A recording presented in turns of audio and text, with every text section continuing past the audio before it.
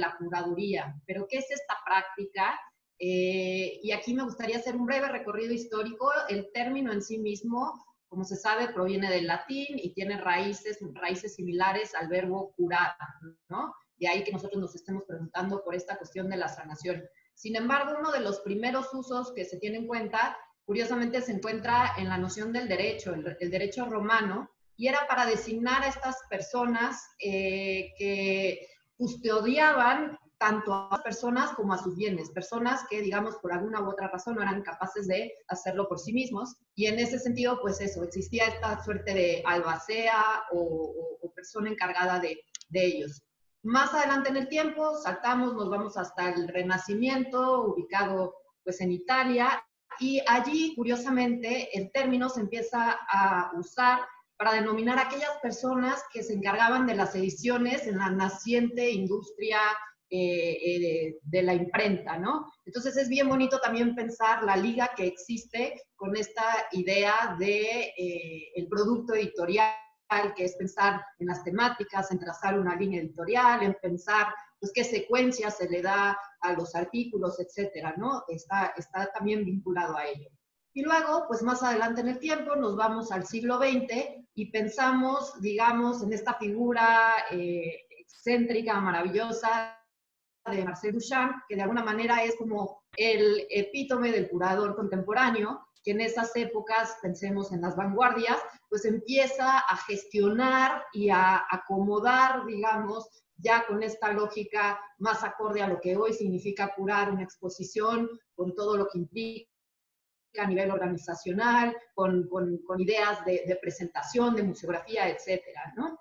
Ahora, a mí me gustaría también hacer un poco, bueno, contraponer el, el, término curador o curadora que usamos en, aquí en Latinoamérica sobre todo, y versus este término que se usa más en España o en países europeos, que es el de comisario, ¿no? Y yo encuentro en esta diferencia algo, pues que a mí en, en, en la palabra curador, curadora, algo como más horizontal y que además implica claramente una lógica de cuidado, que para mí es bien, bien importante, versus el comisario o la comisaria, en donde encuentro que sí hay como una voluntad que a alguien se le impone, ¿no? Como, y que también puede implicar más una suerte de lógica jerárquica o de mandato. En fin, esto es como para ir eh, levantando ideas y, apuntando ciertas cuestiones. Eh, sin embargo, bueno, como les decía, Latinoamérica nos llega quizá más directo del término como se empieza a usar en el mundo anglosajón, que es curator, y de ahí pues este,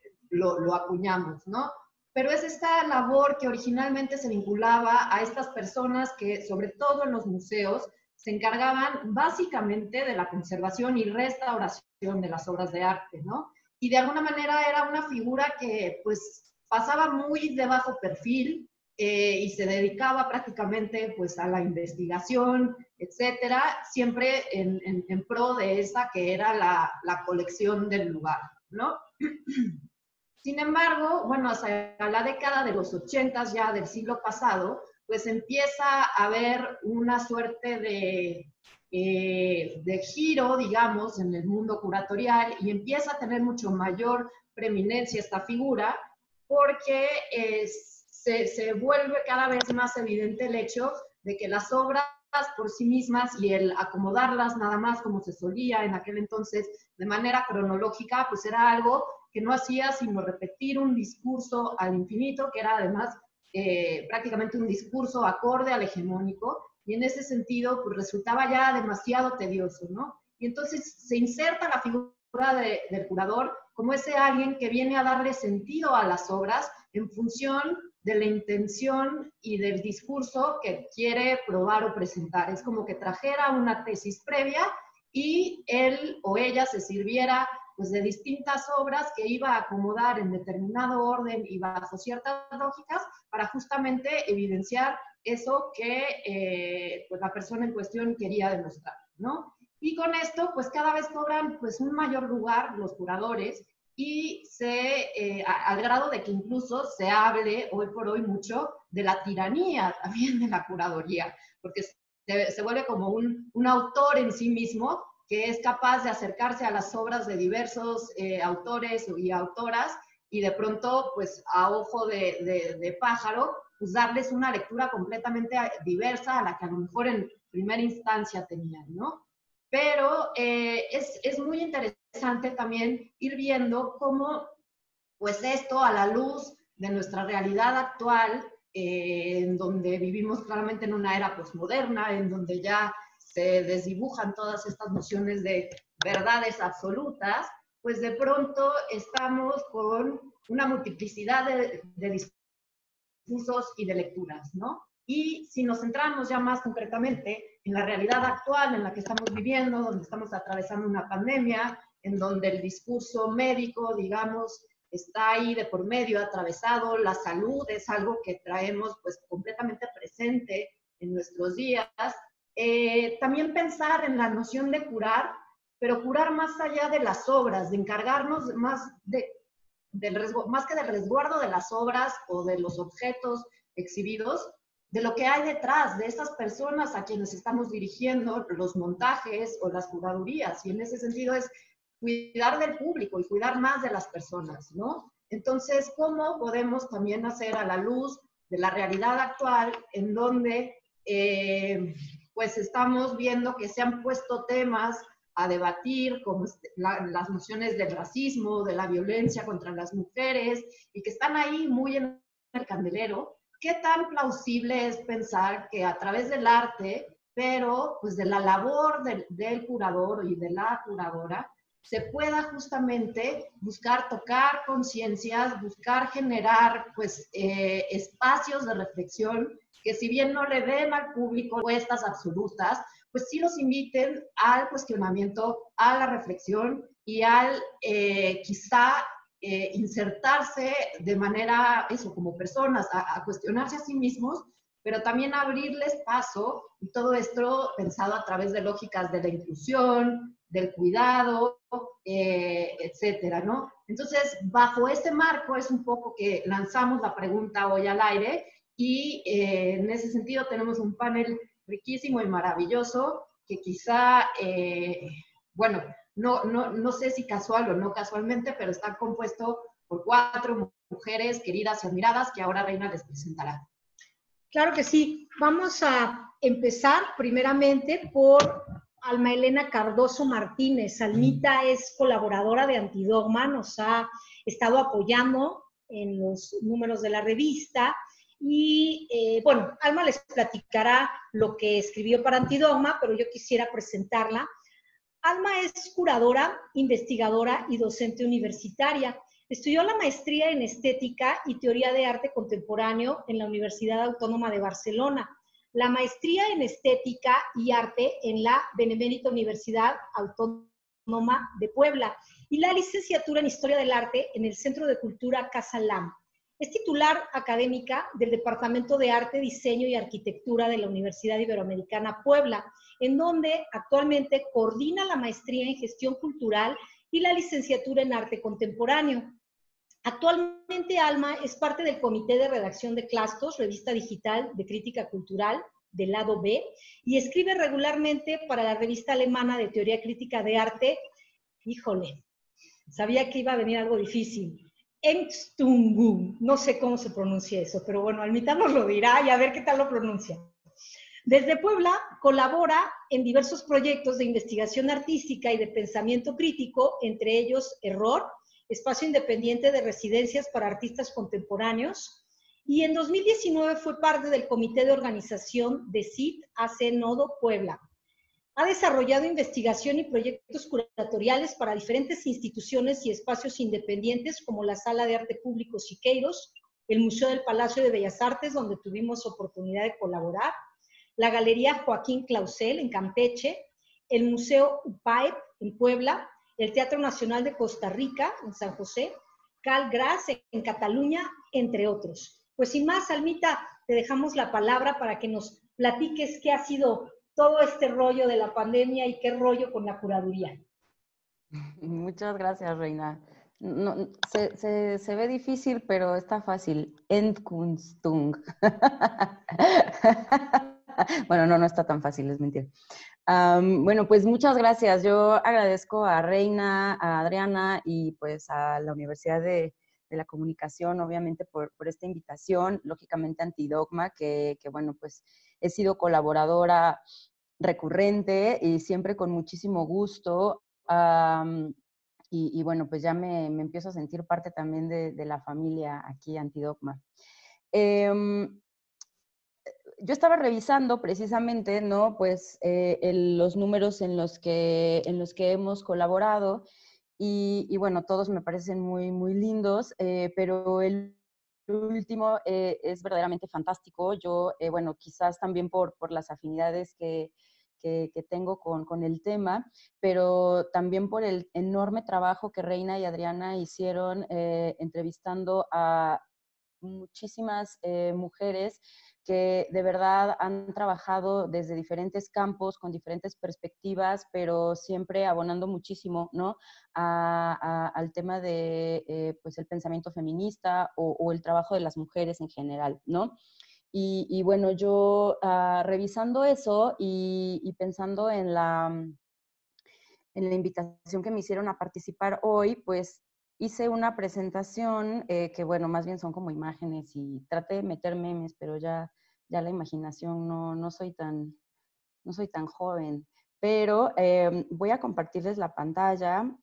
Me van a decir ustedes si, si se ve bien.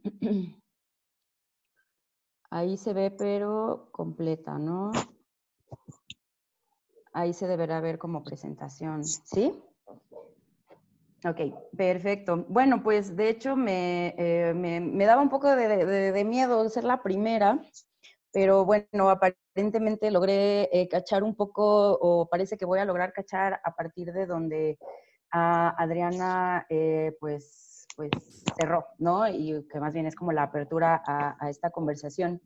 Em, yo, yo, lo que imaginaba con, con la pregunta de, bueno, es la curaduría una forma de sanación colectiva, ¿no?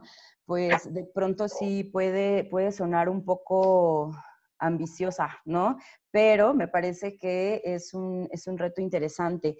Sobre todo, interesante si yo diría, cuestionamos efectivamente qué, qué, onda con los curadores o qué onda con la práctica curatorial, ¿no? Actualmente. Y bueno, pues así como, como bien mencionó Adriana, yo creo que hay eh, una figura importante, ¿no? Que, es la del curador, con la cual nosotros eh, desde el, mundo contemporáneo nos relacionamos, ¿no? Porque claro, eh, nosotros que trabajamos en temas de arte, pues nos es totalmente mm, eh, referencial, ¿no? La idea del curador como un, sujeto, ¿no? Que trabaja en un museo, o bien que se la lleva por la libre, pero que definitivamente se volvió protagonista, ¿no? De, la escena del arte contemporáneo.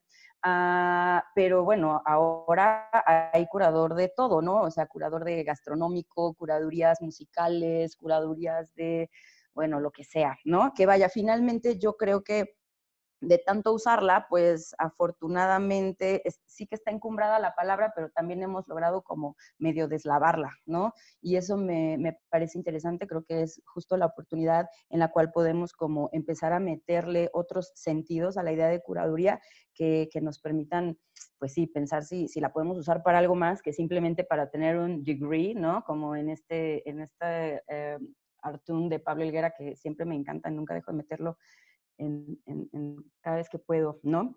Eh, o, esta otra forma, ¿no? También, o sea, que, tan, tan famoso se volvió el concepto del curador que, ya verdaderamente todo el mundo quiere ser curador, pero si eres un curador independiente, ¿no? Estás como eh, del otro lado de la tablita, ¿no? No, no es lo mismo ser un curador efectivamente dentro de un museo, dentro de una institución donde alcanzas pues sí, o sea, que, bien que, efectivamente estudias, que trabajas en equipo, que haces investigación, pero que dentro de una institución también el acto curatorial se vuelve una forma de legitimar discursos, de construir a veces, eh, desafortunadamente, hasta cotos de poder, ¿no? Y, eso pues eh, hace que efectivamente el curador, y por eso lo pongo así en masculino, ¿no? Sea el protagonista del sistema del arte contemporáneo. Y, no lo digo tampoco en un, sentido de polarizar, ¿no? Eh, pero definitivamente las grandes figuras de la curaduría en el arte contemporáneo eh, son masculinas, ¿no? Y, están asociadas, creo yo, con estas prácticas, ¿no? Que implican escoger y ser autoridad y, que definitivamente tienen, ¿no? Un, rigor eh, metodológico e investigativo que les respalda, pero que también de pronto los, los separan, ¿no? Como de una, una práctica que esté fuera, ¿no? De ese entorno o que quiera de pronto estar fuera de ese entorno. Bueno, ya el último, el último Artune era, lo prometo, ¿no? Pero es que son muy chistosos. Ah, e, este, bueno, yo practico la, la, la, curaduría basada en la fe, ¿no? Aviento las piezas y, bueno, pues espero lo mejor. Y creo que también se vuelve algo que, que, que, pasa, ¿no? O sea, de pronto la curaduría también se muestra como un trabajo arbitrario, ¿no? En ese elegir y qué es lo que dice tal cosa, sobre todo cuando pensamos en, en en prácticas contemporáneas, em, pues que tienen que ver más a lo mejor con lo conceptual o, ah, digamos, con, con, formas, ¿no? Que, que a veces no, no, parezcan tan, tan fáciles de descifrar para quienes no estén iniciados. Y, y, bueno, ya también pensaba yo como en esta otra palabra que está, bueno, esta expresión que está muy de moda, pero que es bastante interesante, ¿no? Porque hace unos 30 años, se hablaba del giro curatorial, ¿no? Que era justo cuando eh, los artistas ya no eran los protagonistas del arte, sino más bien los curadores o los coleccionistas incluso, ¿no? Y, bueno, el, curador era como este dotador de contenidos, ¿no? De información, de explicación, puentes, etcétera, ¿no? Y, bueno, yo eh, lo que, lo que me parece muy interesante es pensar como el giro dentro del giro, ¿no? Es decir, sí, el giro curatorial, pero el giro feminista, ¿no? Que también eh, se, se, se, vacía en el acto curatorial. Mm, y bueno, les traigo una serie de ideas que yo les quiero contar sobre todo para que a lo mejor después eh, podamos eh, platicarlas, ¿no? yo, yo pienso en el feminismo para el arte contemporáneo, ¿no? Eh, eh, como una cosa inherente. Es decir, que cuando en México hablamos del surgimiento del arte contemporáneo, ¿no? Pues el feminismo está ahí siempre, ¿no? O sea, van, van, van de la mano.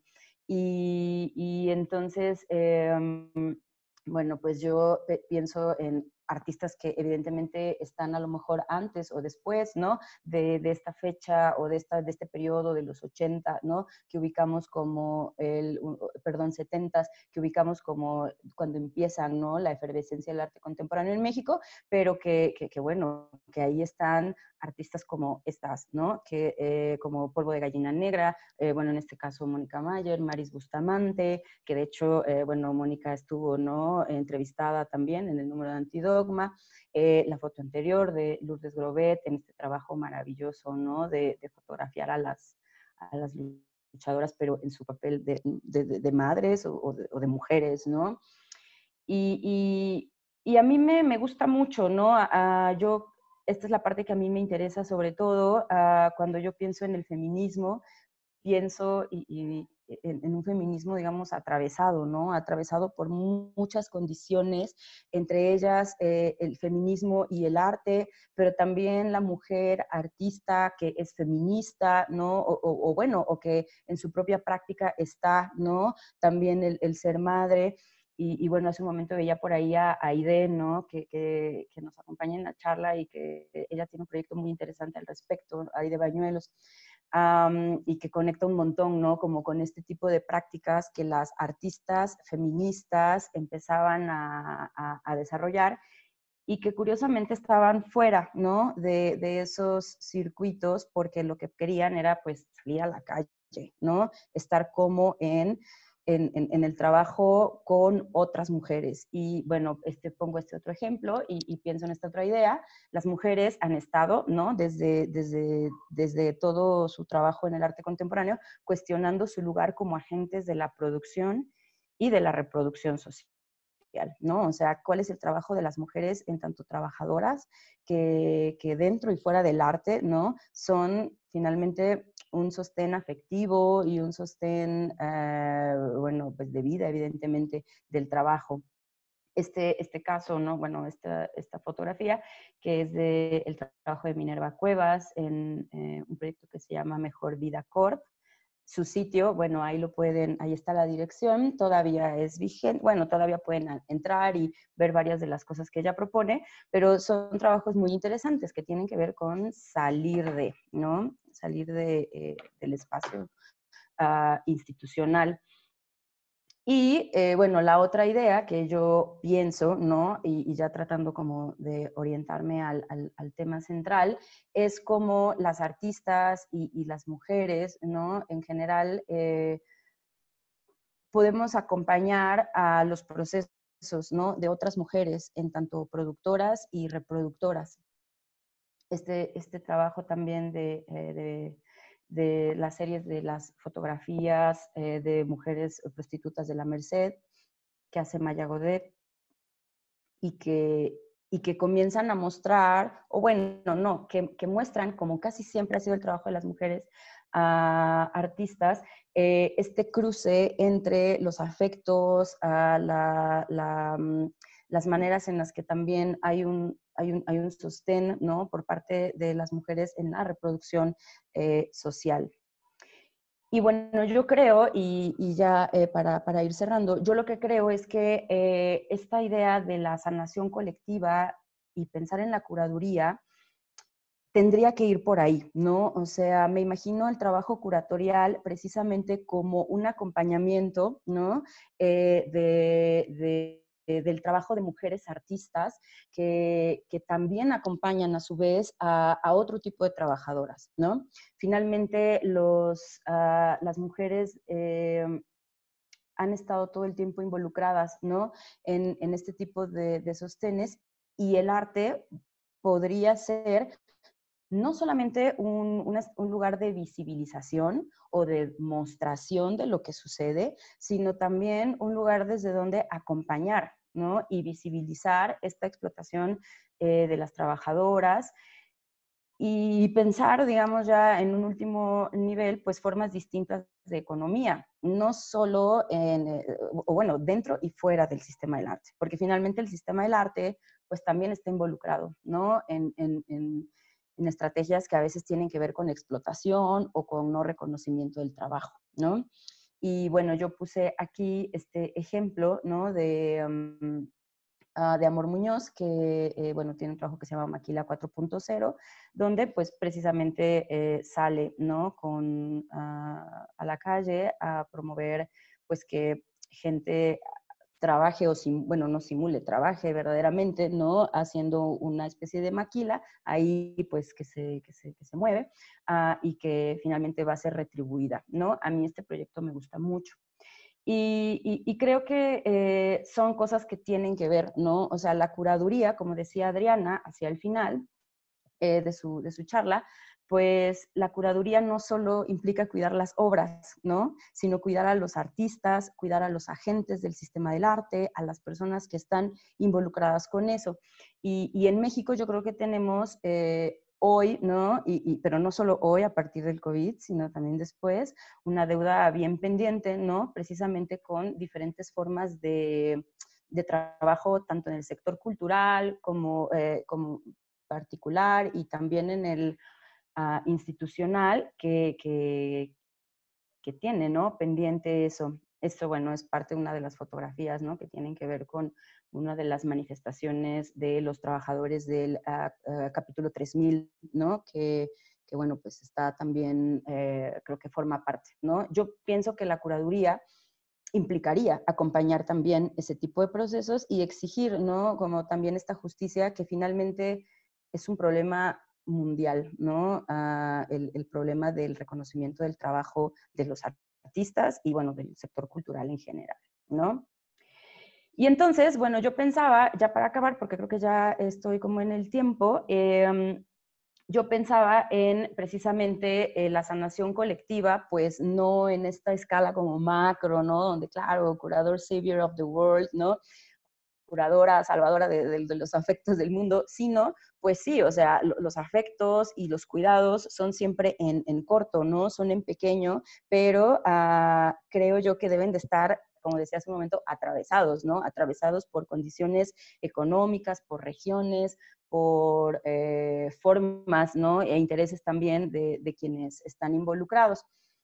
Para concluir, a mí me gustaría como comentar que, bueno, yo todos mis, trabajos curatoriales em, los he hecho, bueno, prácticamente todos, no, no, todos, es verdad, pero casi todos los he hecho acompañada, ¿no?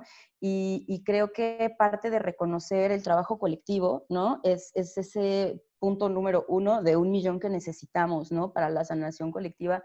Y, y bueno, pues justo ahora que, que, vi que Carla estaba por acá, ¿no? Y bueno, ahí de Nina Fioco, yo apunté, yo dejo aquí como este pegote, ¿no? De un montón de imágenes de gente con la que he trabajado y de cómo yo imagino el trabajo curatorial. Es decir, que que, sí que he trabajado curando exposiciones, ¿no? Como montando expos, pero mi trabajo curatorial yo ahora lo ubico sobre todo como, como ser parte de una red, ¿no? Que posibilita interacción, uh, que posibilita intercambio y reflexión a partir de justo estos problemas ¿no? que, que, encontramos en nuestro contexto como artistas, como agentes de la cultura y que luego pues conecta también con problemas de muchos otros tipos de, de trabajadores, ¿no?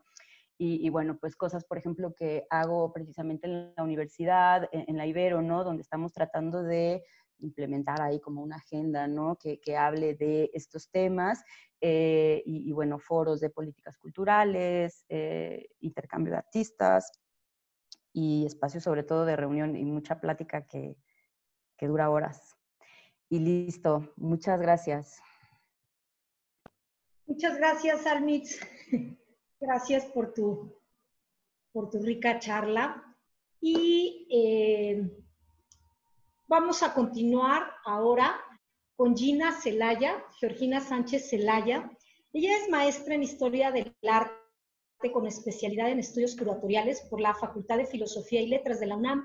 Ha desarrollado diversos proyectos curatoriales comisionados e independientes tanto en la Ciudad de México como en el interior de la República.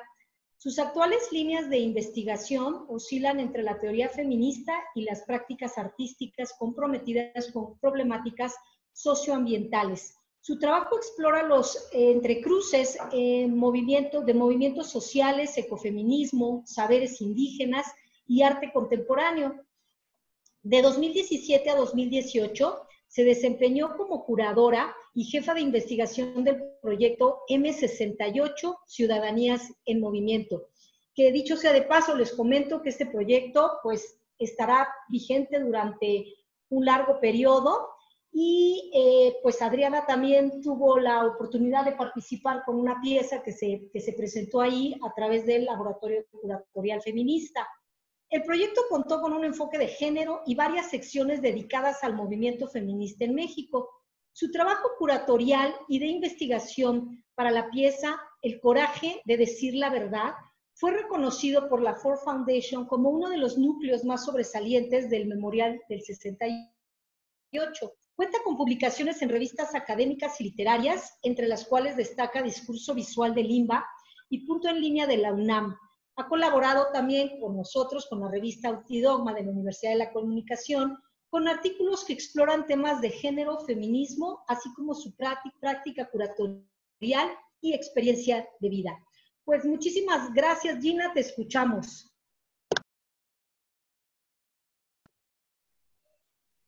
Hola, muchísimas gracias por la invitación. Muchas gracias a las participantes. La verdad es que eh, la intervención de, Alma estuvo increíble. Creo que eh, hay muchas cosas también sobre las cuales yo puedo aportar en ese mismo sentido. Y pues eh, quiero decirles que traigo aquí unas, unas ideas, ideas que se, que se dialogaron previo a este, a este encuentro ya. Em, yo quiero hablarles de la curaduría, eh, precisamente como esta práctica de sanación, esta práctica de eh, sanación para las heridas sociales. Eh, y digo, lo, comento porque no me quiero agenciar esta idea, sino que fue un trabajo, creo que se, se, hizo también en colectivo y que se planteó previamente. Y me pareció súper interesante, me pareció muy, muy potente, porque creo que la curaduría es un acto de supervivencia si bien no podemos ser las heroínas, ¿no? Que solucionemos todos los problemas eh, del mundo como curadoras, y lo voy a decir así, como curadoras, creo que podemos eh, aunar muchísimo a todas las problemáticas sociales que, están hoy en día eh, muy vigentes. Y bueno, esta idea de la práctica curatorial como, como sanación me llevó mucho también a una cuestión introspectiva, ¿no? Una cuestión personal que creo que no contaría el día de hoy si no fuera en este formato Zoom, donde solamente las veo ustedes, a quien les tengo muchísima confianza, me, pondría mucho más en pánico, ¿no? Estar frente a más personas y contar esto, pero creo que es importante también hablar desde la subjetividad, hablar desde, desde este lugar, ¿no? De, nosotras como, como mujeres que estamos eh, ahora viviendo un encierro. Sé que muchas personas eh, estamos viviendo cuestiones muy, muy complicadas, pero eh, sí, sí hubo una serie de afectaciones, ¿no? A, mi cuerpo, lo digo así, este, abiertamente y a, mí me, dio algo muy, muy particular que es, fue, fue una crisis de ansiedad. Fue una crisis de ansiedad que me detonó un documental maravilloso sobre el aborto en Argentina. Y eh, fue también muy curioso porque en, en, este, en este periodo donde yo tuve esta, esta crisis de ansiedad, estaba también circulando este video súper violento de George Floyd siendo agredido por policías, eh, esta brutalidad policíaca que, detonó también una serie de cuestiones. Y eh, bueno, la, no sé, eh, las crisis de ansiedad pueden tener diferentes manifestaciones, pero una de ellas es el no poder respirar. Y yo estaba mucho en este, en este rollo de siento que no puedo respirar. Y, y veía yo el video de George Floyd clamando, ¿no? I can breathe y directamente lo conecté a lo que me estaba pasando, me sentía yo también eh, en, esta misma sintonía, ¿no? Y ahora, bueno, pienso también que estamos en, vivimos en una colectividad, somos un cuerpo, un cuerpo social. Mucho en el feminismo se habla del cuerpo territorio. Eh, las mujeres somos un territorio de conquista también. La tierra es, un, es eh, este espacio que, que cada día se, se lucha, eh, por, por, defender, pero también eh, se, se, viola, se, se, se arrasa, se, destruye. Y me, me, parecía interesante, ¿no? Pensar en, en, en que somos un, un, cuerpo, la cuerpa, eh, que tiene también esta relación con, con la madre tierra, ¿no? El, el, cuerpo, que les digo, está esto muy presente en el, en el ecofeminismo. Somos un cuerpo social y este cuerpo social está enfermo. Somos un cuerpo enfermo. Quiero quiero que ahora pensemos en este cuerpo enfermo, ¿no? Y eh, es un cuerpo que, que, está presentando muchos síntomas. ¿Y, cuáles son esos síntomas? Pues claro, eh, esta pandemia, COVID, eh, la discriminación, la pobreza, la violencia, son esos síntomas, ¿no? De, de, este cuerpo social enfermo. Pero ¿cuál es la enfermedad también, ¿no? Vamos a pensar ahora en la enfermedad. Estamos enfermos, estamos enfermas de capitalismo, estamos enfermas de racismo, estamos enfermas de colonialismo, ¿no? Y eh, precisamente esta sociedad enferma necesita sanar. ¿Cómo? Hay que hacer uso de todas las terapias posibles. Y lo digo porque yo, al verme en esta crisis de angustia, en esta crisis de ansiedad, dije, tengo que sanar. Tengo que sanar y, y busqué diferentes terapias. Eh, busqué a mi psicóloga, busqué eh, integración emocional, busqué, claro, que las hierbitas, la herbolaria, el tecito, en fin, ¿no? Y creo que debemos pensar eh, que la curaduría es una herramienta para sanar, ¿no? Yo creo que tenemos que hacer mano, echar mano de absolutamente todo lo que tenemos y la curaduría debe, de estar al frente, debe de ser este espacio que posibilite la sanación colectiva. ¿Por qué? principalmente porque es un llamado a la, colectividad, es un llamado a la, comunidad. Tenemos que pensar en eso, en hacer, en hacer comunidad. Cada vez nos está costando más trabajo hacer comunidad. Pensar en cómo vincularnos con el vecino, cómo vincularnos con, el que tenemos al lado en el transporte público. Y ahora está muchísimo más presente porque lo que nos han metido es ese miedo. Es un, tenemos un cuerpo que está apanicado, está aterrorizado del otro, está aterrorizado del contacto, Eh, ahora con el temblor, que, que, aquí se vivió fuertísimo y que en Oaxaca también dejó muchos estragos, pues hay más miedo y hay muchísima más necesidad, hay mucha más precariedad.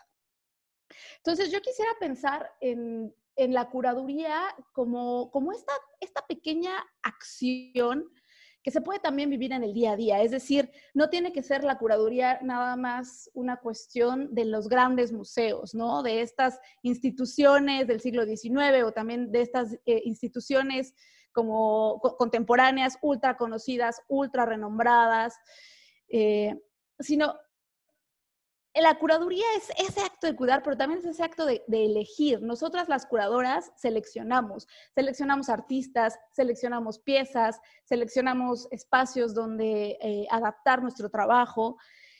Y a, mí me pasaba algo también muy, muy chistoso, y es que estaba yo eh, en el escroleo así, eh, no podía yo dejar el Facebook, no podía dejar de, recibir estas, estas noticias, ¿no? Como, como buscando respuestas. Y pienso que la curaduría es eso también. ¿Qué estamos eligiendo para nosotras? ¿Qué, artistas estamos curando? ¿Por qué estamos eligiendo esos artistas? ¿Qué noticias nos están llegando? ¿Qué vamos a dejar que entre a nuestras pantallas? ¿Qué, vamos a dejar que entre a nuestras vidas, a nuestra intimidad?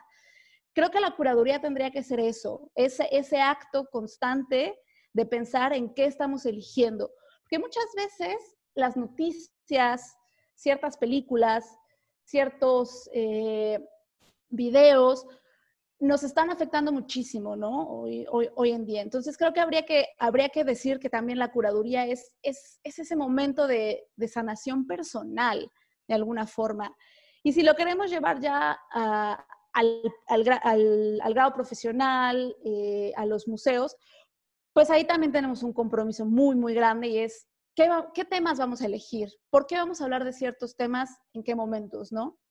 Ahora muchos museos están eh, eh, tratando, ¿no? De ser más incluyentes, están ya pensando en retrospectivas de artistas afrodescendientes, artistas de color, eh, realmente hay toda una revolución allá afuera en las calles, y no solamente es Estados Unidos, es Europa también, ¿no? Con todas estas estatuas que, que ahora caen.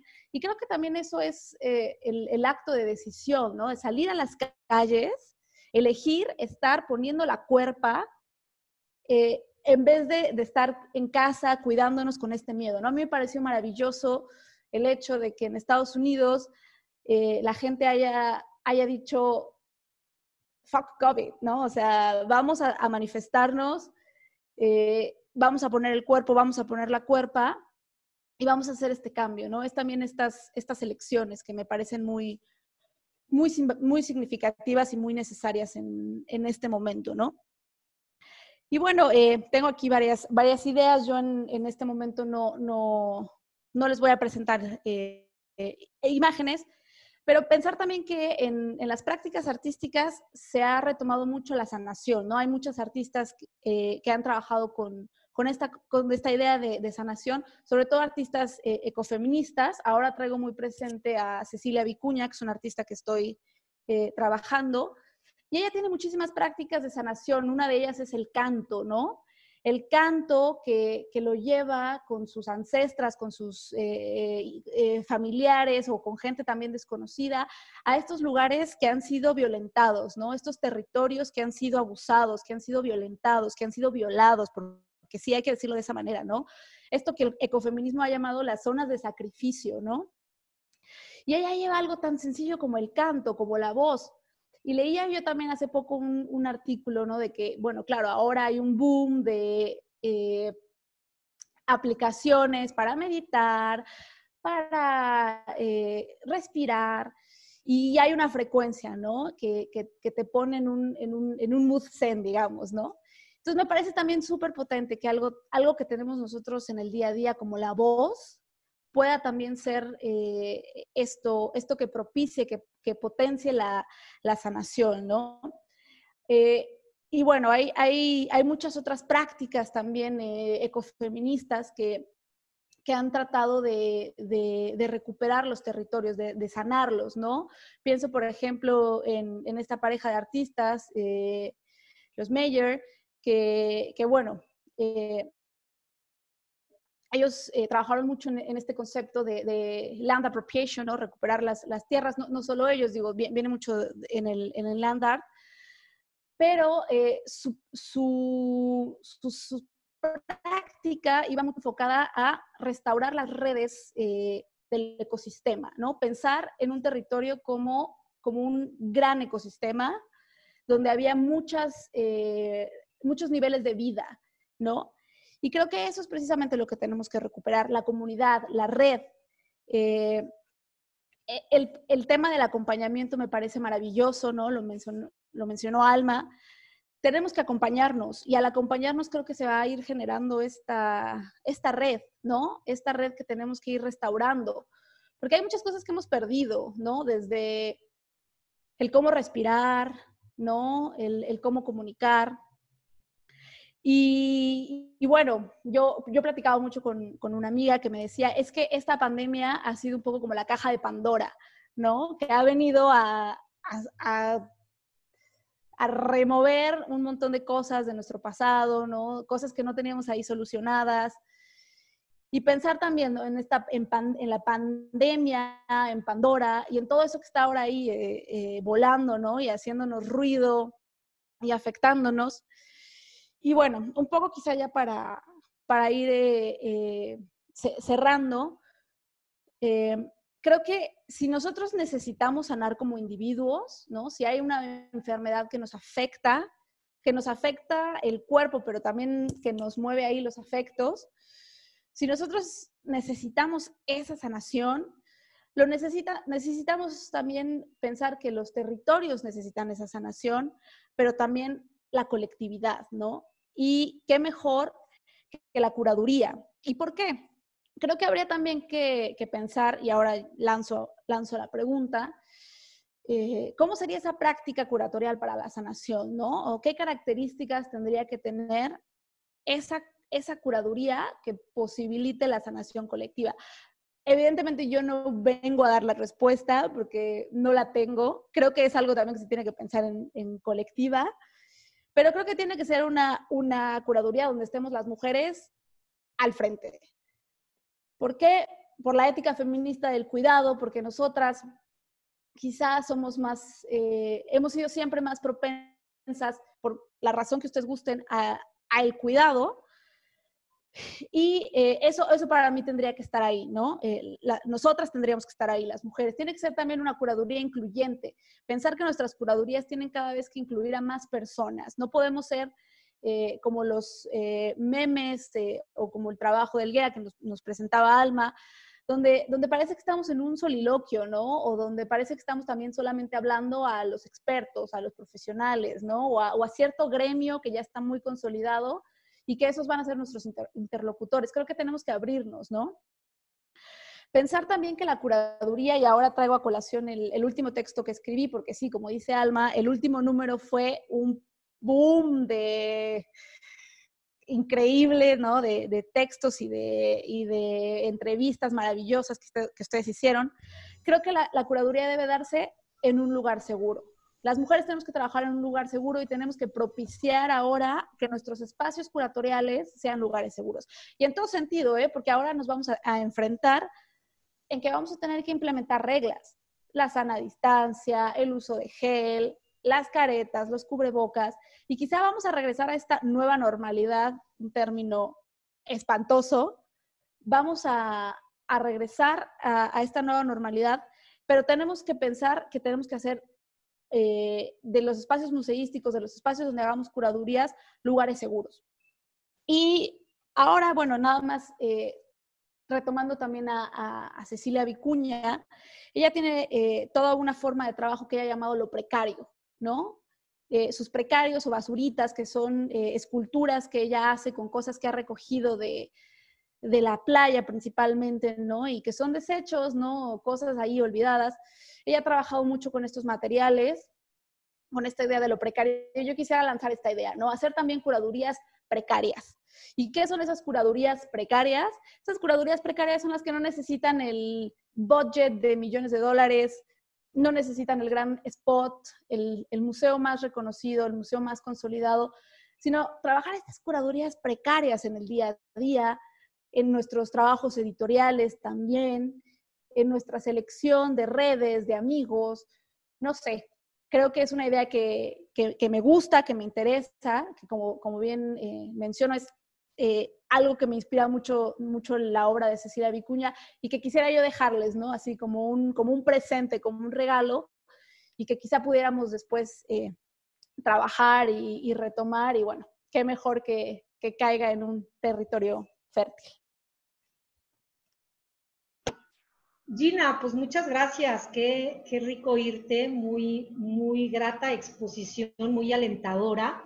A mí me gustaría aquí comentarles que en la Universidad de la Comunicación tenemos dos espacios de exposiciones, dos espacios de galerías. Uno que es espacio arterial, que está propiamente en Zacatecas 120, en el edificio de la universidad.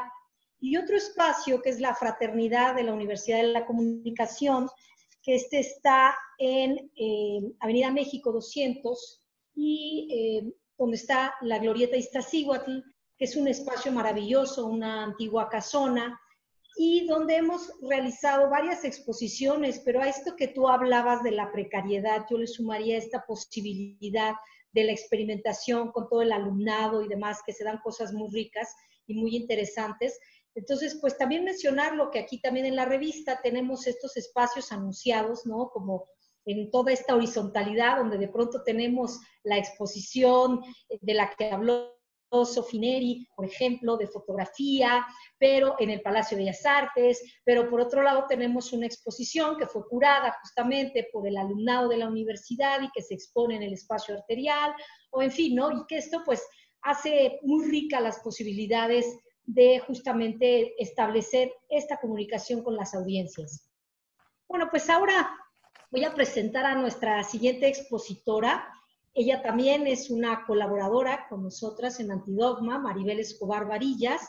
Ella es historiadora del arte por la Universidad de las Américas en Puebla. Fue becaria del programa de estudios independientes del Museo de Arte Contemporáneo de Barcelona, MACBA, con este programa, en conjunto con la Universidad Autónoma de Barcelona, obtuvo el máster en estudios museísticos y teoría crítica. Se ha desempeñado en la investigación, gestión y curaduría con un especial interés en el archivo como espacio privilegiado para acercarse a la complejidad y matices de las prácticas artísticas contemporáneas. En relación con ello, ha colaborado en distintos proyectos de conceptualización, organización y preservación de archivos como el Archivo René Peñalosa Galván, el archivo Pinto Mirraya, archivo Elizabeth Romero Betancourt, archivo Grace Quintanilla Cobo.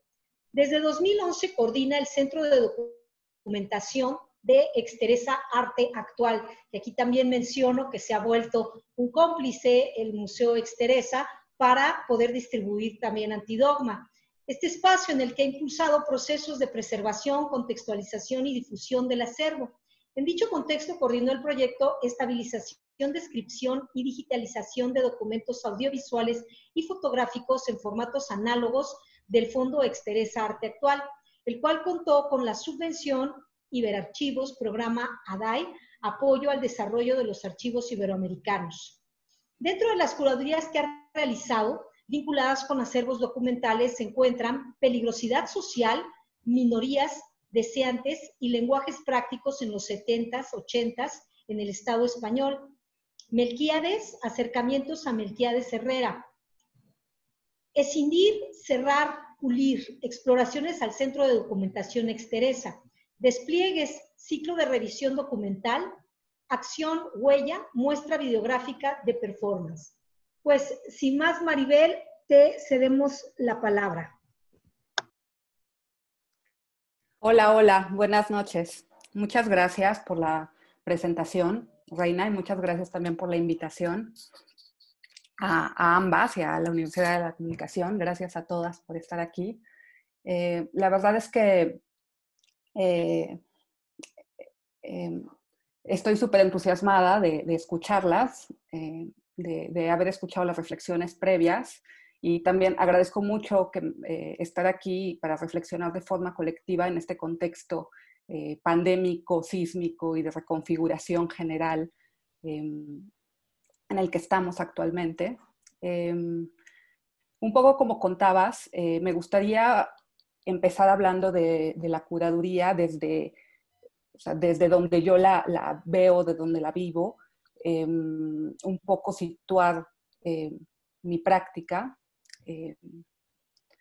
o el emplazamiento desde donde, sí, desde donde le estoy pensando.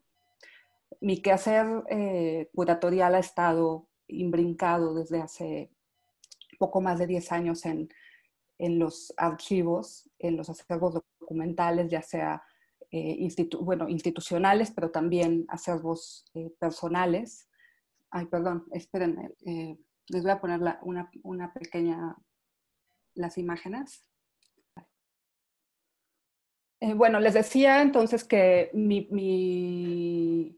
práctica como de gestión y de investigación ha estado situada en los archivos específicamente, archivos personales, de distintos artistas o, archivos institucionales, pero eh, todos ellos vinculados con prácticas artísticas contemporáneas, eh, vinculados con prácticas artísticas actuales. Eh, pues estos espacios que son espacios de constante movimiento, también constante vulnerabilidad, em, y que ellos mismos tienen una serie de problemáticas muy grandes como la obsolescencia o problemáticas de preservación, problemáticas de, conceptualización, problemáticas legales, ¿no? Entonces, desde estos espacios, eh, ya con, una serie de, laberintos y de, problemáticas, eh, me ha tocado o he, tocado distintas aristas eh, indispensables dentro de un archivo que tiene que ver con, la organización, con, la preservación, con el registro y con un trabajo interno como muy laborioso y que muchas veces es un trabajo poco visible o bueno, creo que al final puede ser visto, pero que en, realidad es un trabajo como muy callado, muy silencioso, como muy, muy de, de tiempo, o sea, de como expandido, ¿no? que vas avanzando ahí poco a poco. Em, y en, en, medio de todo esto, em, en algunos momentos específicos, eh, o más bien desde allí sitúo como, como mi pensar la, la curaduría o mi práctica de, la curaduría. Em, desde allí pienso la curaduría como, como un proceso de, para tender puentes eh, para materializar procesos de, preservación. ¿Por qué digo tender puentes? Porque eh, hay, como todo un proceso implícito en hacer visible determinados eh, documentos, o sea, hay, todo un proceso de preservación, de conceptualización, de organización, de cuidado previo. estoy poniendo algunas imágenes que son imágenes de, de distintos archivos en los que he estado colaborando. Y, bueno, así en bruto, en algunos casos, como, como es en este caso de, de, René Peñalosa, este, o el proceso de organización. Y también porque lo pienso como mediación, porque eh, cuando llego o cuando se plantea el proceso, o cuando yo me planteo un proceso curatorial, hay una preocupación previa en cuidar en la idea de cuidado, pero de, cuidado de algo y no solamente algo objetual, sino también algo en, el en un sentido, un concepto, una memoria, una memoria que es parte, bueno, una memoria colectiva y eh, a partir de detonar una serie de procesos, una serie de procesos eh, de digitalización o una serie de procesos de, registro de cuidado, eh, provocar, o sea, que, suceda todo ese proceso y que luego pueda llegar a, ser visible, ¿no? O sea que muchas veces, lo que quiero decir con esto es que muchas veces esos procesos de, curaduría eh, tienen, están eh, vinculados específicamente con eh, trabajar una parte específica de documentos, con trabajar una preocupación en específico y, este, esto. Em, también porque lo pienso como mediación, porque, em, porque hay una preocupación por, por potenciar más bien modos de modos de mirar determinados documentos. Es como generar solamente una lectura para que después se puedan generar otras muchas. Y no pienso solamente en este sentido en la curaduría, sino también en el trabajo de mediación que hay a veces eh, para, mm, con, con, investigadores, con estudiantes, con otras personas y con esta colaboración para poder generar que estos documentos o estas eh, voces, estas prácticas artísticas y estas eh, potencias que hay en estos documentos puedan eh, salir y puedan ser también vistos y puedan estar disponibles para otras, para otros, no solamente para uno como, posible curador, sino también para, para un espectro grande de, de personas. Y bueno, y desde allí, eh, eh, bueno, les sigo mostrando así imágenes generales como de, archivos, esto de Teresa, de Pinto Mi Raya. Esto, por ejemplo, es del archivo Elizabeth Romero, que es un archivo que,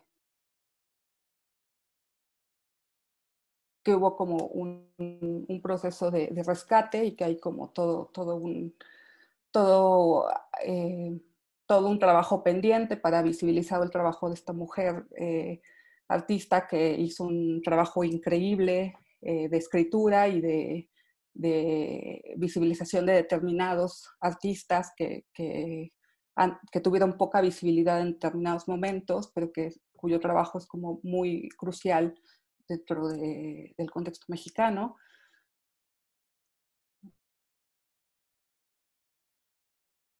Y bueno, entonces, este es un poco desde donde eh, yo he pensado o me emplazo mi, práctica curatorial.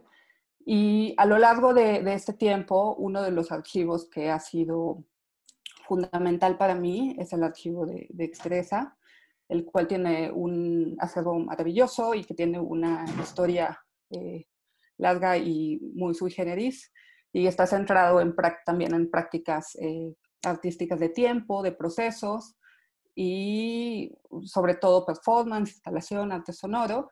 Y bueno, les platico un poco esto porque quiero hablar o quiero hablar un poquito de una muestra de un trabajo que estuve haciendo, que fue el último trabajo que monté físicamente. y no sé, este, y, enfatizo lo de físicamente porque en este momento creo que estamos repensando como cómo serán como estos, o sea, los documentos, como esta materialidad, eh, cómo, cómo, podremos trabajar con ellas en, en, un momento en el que los documentos pueden ser transmisores también de un virus, ¿no? Y nos, eh, cómo eh, vamos a, a, trabajar, cómo, cómo vamos a desdibujar una materialidad o cómo vamos a repensar esa materialidad sin hacer o poniendo el cuidado también en, quienes se acercan a esa materialidad, ¿no? Entonces lo menciono un poco porque después de estar trabajando en esta exposición que en realidad eh, buscaba eh, cuestionar, o, todo el tiempo para mí ha sido importante pensar o cuestionar como lo expositivo, o sea, como el formato expositivo, y en esta eh, muestra en específico eh, buscaba eh, pensar en los no originales, por ejemplo, mucho la manipulación del documento, pero todo eran duplicados, por ejemplo, pensando en, bueno, ahorita llego a las otras, que eran videos, videos de, videos de prácticas artísticas en los noventas y cuando hablaba antes de, ser mediadora de un proceso, o sea, de generar un proceso de preservación y después eh, volverlo público, esto fue un proceso largo que duró eh, como más de un año de, preservar varias cintas, hacer un rastreo arqueológico em, y descubrir distintas cosas. No sabíamos, este, bueno, fueron cintas eh, de los noventas entonces hicimos un proceso de digitalización largo y después un proceso de trabajo con, con los artistas, con artistas específicos, un proceso de, de, memoria. Em, y ya después, y, bueno, después se hizo un, un, diálogo con, con el Hemispheric Institute, que este, a finales de este año estos videos van a, tienen que estar ya eh, arriba, van a estar en la red y van a estar también preservados por, el, eh, por, la plataforma digital o por el este, acervo digital de, este instituto. Entonces, para mí era importante, por ejemplo, mostrar o hablar de prácticas que eh, describían de alguna manera o que problematizaban esa década, ¿no? Entonces, no, digo, no están aquí todas las, fichas, pero por ejemplo puse algunas de las que me parecen que, que justamente eh, tocaban esos puntos como ausencia, que era una pieza que, que hablaba de, de, la desaparición forzada en, en la guerra sucia, eh, arrastrando un cuerpo, que es un, una pieza también como muy ligada a la crisis del 94. Eh, y bueno, había una cuestión sobre la memoria, sobre el olvido. Y bueno, aquí hay diferentes imágenes. Y había también esta idea de, la manipulación, ¿no? de, conectar a quienes estaban visitando la exposición con los documentos, con esta cosa táctil de los documentos.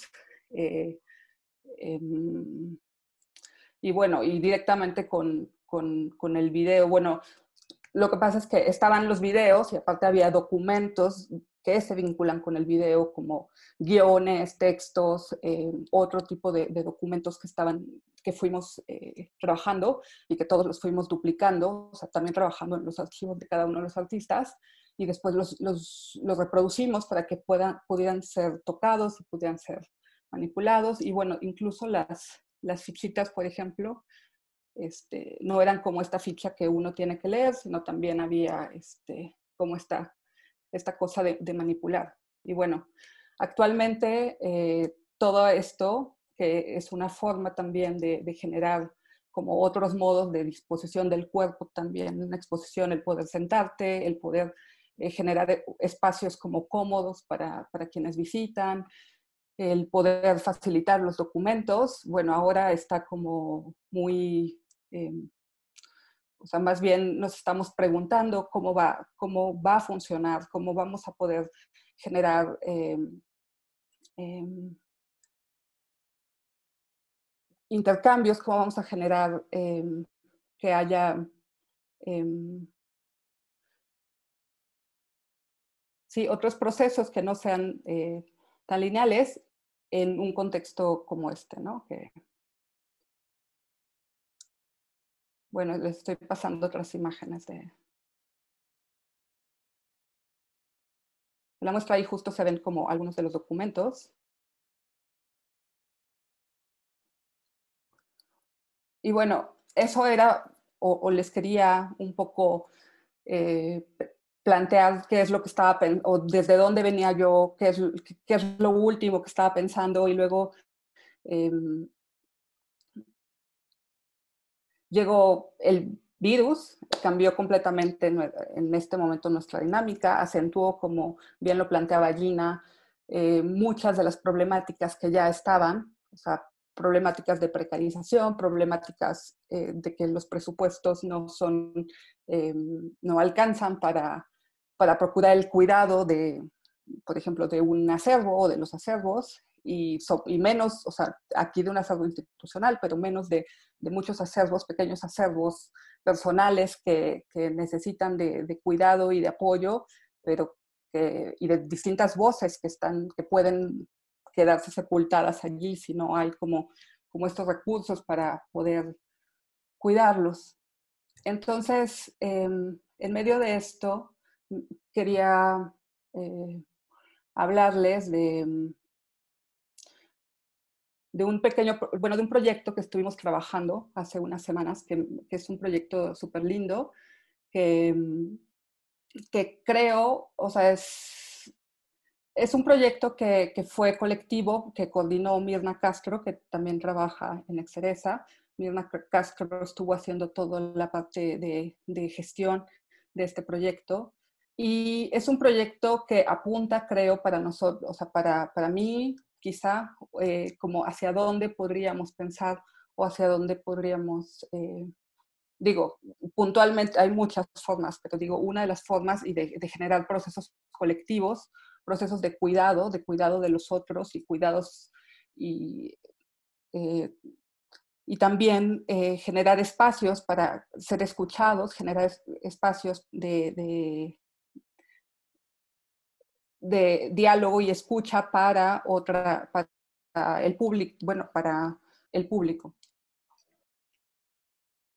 Este proyecto se llama Modos de Oír, perdón. Perdón, es Ecos Cotidianos, Escuchar en Pausa, que es un proyecto para el cual se pidió, se hizo una convocatoria para sobre cómo ha cambiado, o sea, también pensábamos cómo el sonido en una época en la que constantemente estamos en la pantalla, que hay una visualidad o una eh, como estar en la pantalla todo el día, todo el tiempo. Entonces, eh, ah, pensábamos más en la sensibilidad, en la escucha. Entonces, Ecos Cotidianos es una... Eh, es un proyecto que, que, justamente se presentó hace, hace un mes, más o menos, y reúne como el trabajo por convocatoria abierta de distintos, este, no todos son, no son artistas, solamente son diferentes personas que quieran eh, contribuir con, con, con, su sensación, con su percepción de, de cómo se ha transformado eh, los sonidos en la pandemia. Entonces, este es un proyecto que está, bueno, ahorita lo pueden encontrar en esta página. Y de alguna manera, em, creo que lo que, lo que rescato del proyecto es justamente en pensar lo colectivo y el cuidado de los otros. Y bueno, pues muchas gracias. Muchas gracias, Maribel. Pues ahora vamos a dar paso a nuestra cuarta expositora, Sofi, Sofi Neri, Sofía Neri, historiadora del arte por Casa LAM, y ella cuenta con estudios de la maestría en la misma disciplina por parte de la UNAM. Desde el 2002 ha trabajado en el área museológica como gestora, investigadora, curadora, comisaria y coordinadora de exposiciones en recintos del IMBAL, como el Museo Nacional de San Carlos, el Museo Nacional de Arte y el Museo de Arte Moderno. En este último curó exposiciones como Analogías Escultóricas, Escenarios de Identidad Mexicana y Luz Negra, colección MAM, entre otros proyectos. Ha ejercido el periodismo cultural en publicaciones de arquitectura e interiorismo, así como en suplementos culturales. Ha colaborado periódicamente con galerías de arte en la redacción e investigación de textos de catálogo. Actualmente trabaja para la Institución de Educación Superior Centro de, este, Diseño, Cine y Televisión como investigadora y editora del CIEC, Centro de Investigación en Economía Creativa, y por supuesto también es colaboradora de Antidogma, revista de arte y cultura de la Universidad de la Comunicación. Sofi, pues sin más, adelante por favor, te escuchamos. Claro. Hola, buenas noches. Saludo a todos los cuadritos que me están viendo. Todo es compartimentado ahora. Todos estamos hablando desde nuestras propias celdas. O sea, estamos metidos en una dinámica de cuadrícula, absolutamente, ¿no? Y ahorita van a ver, eh, les voy a compartir una presentación, pero bueno, primero quería decirles que para mí ahora el reto eh, que enfrentan las prácticas curatoriales, eh, pues es el mismo que enfrentan a todas las demás actividades de la vida cotidiana, ¿no? En, medio de esta crisis. Estamos en medio de esto, ahorita les muestro.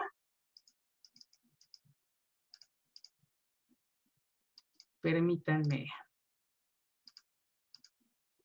O sea, nuestra nueva normalidad es esta ahora y no sé si la queramos continuar de, esta de este modo, ¿no? Entonces, eh, lo que ahora nos ataca a todos es la incertidumbre que incide en nuestras maneras de trabajar. Ya les digo, ya seamos curadores, ya seamos abogados, ya seamos contadores, la incertidumbre es lo que nos tiene que impulsar a a, transformar por medio de la imaginación lo que queremos hacer, ¿no? Y en este sentido, pues la invitación era un poco eh, relacionar la sanación con la curaduría y este, pues en primera instancia lo que tenemos que ver es que ambos vocablos derivan de, de, un concepto común que es curar, que por extensión se ha ido también entendiendo como la reparación, la reconstitución, el reordenamiento de las cosas, de las ideas, de las obras, en fin, ¿no? Eh, en suma, es cuidar para restaurar un equilibrio, para restaurar nuestra propia integridad como seres humanos, ¿no? También eh, deberemos considerar a la hora de, hacer un trabajo curatorial como sanación y como ayuda al prójimo, eh, que la palabra curar se ha trasladado a otras esferas, como decía Alma. Ahora curar, pues bueno, eh, se puede curar todo tipo de cosas, ¿no? Que más bien esto se enfoca hacia la palabra seleccionar, ¿no? De, un caos hay que elegir y hay que darle un sentido a toda esta selección de cosas o de elementos, ¿no? Entonces, bueno, ahora, como también Gina lo comentó, que estamos en medio de una crisis en la que estamos enfermos como sociedad, pues lo, importante es saber de dónde seleccionar para poder, eh, para poder reordenar ideas y reordenar nuestra propia psicología eh, y percepción de la, nueva realidad, ¿no? Eh, pero bueno, tendríamos que pensar primero, eh, en primera instancia, qué es un curador, qué es una curadora y qué hace, cómo me puede ayudar, ¿no? Visto desde, desde la perspectiva del, no mía, sino del público, de la gente a la que yo le voy a dar mi, mi propuesta, ¿no? Entonces, bueno, es frecuente que en la percepción general fuera del ámbito museológico, pues todavía siga sin entenderse lo que es el curador, ¿no? Eh, no se conocen las funciones reales, a veces ni los propios curadores eh, las conocemos, entonces este, es importante que, primero concienticemos de qué se trata todo eh, lo que trabajamos, ¿no? Porque bueno, si nos atenemos a las diversas tareas deseables y esperadas en el curador hoy en día, pues nos encontramos con que este debe tener aptitudes o incluso ser, ser un académico, un historiador, un artista, un divulgador, un restaurador, un museógrafo, un de turistas, un gestor, un crítico, un administrador, incluso también un marchante de arte y saber comunicar de forma de forma eficaz lo que quiere decir, ¿no? Esta formación integral, ¿para qué es? Pues nos hemos convertido también como curadores en, en verdaderas pantallas de Zoom, ¿no? Como les decía, somos cuadritos que tenemos que tener de todo un poco, ¿no?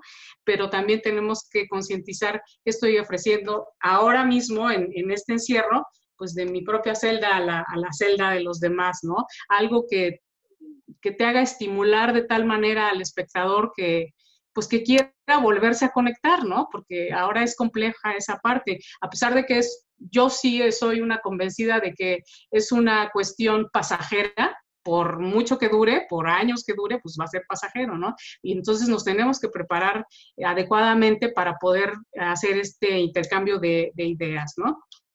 Ahora bien, el papel social de la curaduría, de la práctica de la curaduría en el contexto de esta crisis, pues es justo el punto de inflexión que, liga, eh, que la liga a la curaduría con el concepto de sanación como instrumento para la higiene mental, ¿no? Esto es posible. Buscando en, Twitter me encontré con una personaje que se llama Dora la, curadora, ¿no? Entonces yo dije, bueno, aquí la fórmula que, que tenemos que buscar es que Dora la curadora se, ponga en complicidad con, no sé, este, por decir, Valdomera, la enfermera, así como Susana Distancia, ahora que está tan de moda poner este tipo de nombres, este, para, para tomarse mezcladas como un instrumento de, de, la vocación de la curaduría, ¿no? ¿Y qué es lo que va a resultar de, de esta, pues, de esta amalgama, ¿no? Tiene que resultar el contenido, es lo que tenemos que nosotros rescatar, el contenido, porque independientemente de todas las plataformas o no que existan en la vida real, pues si no hay contenido, no, no va a haber una manera eficaz de, de tener un intercambio de ideas, ¿no? Entonces, bueno, las alternativas para que una curaduría desde la crisis y como sanación cumpla con las misiones que le son propias, que ya les dije, que es estudiar, clasificar, generar contenido, trabajar nuevas relaciones entre los objetos o entre las ideas y bienes culturales, eh, y documentar y difundir para, sobre todo, eh, incrementar un goce estético en las cosas eh, para los usuarios. Es importante que tratemos de no replicar los mismos esquemas de la realidad y pasarlos como a fuerza a una plataforma que nos es todavía un poco ajena, ¿no? A pesar de que la hemos estado usando ya hace 30, 40 años, ¿no? Pero eh, ese es el chiste, ¿no? Que tratemos de buscar eh, los elementos que tenemos con estas plataformas y no hacer una mera imitación de la realidad, ¿no?